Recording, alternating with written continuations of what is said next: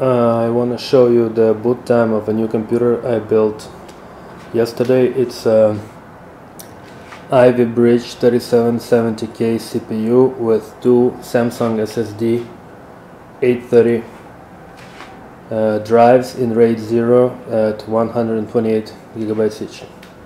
So on count 3 I'm going to press the the button and um, you'll see. One two three